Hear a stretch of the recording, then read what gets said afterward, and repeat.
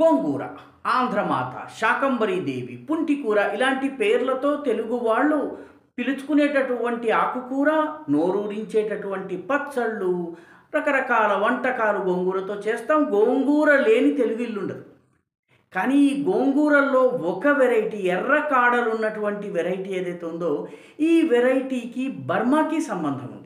తెల్ల కాడలు ఉన్నటువంటి గోంగూర మొదటి నుంచి మన దగ్గర లభిస్తుంది.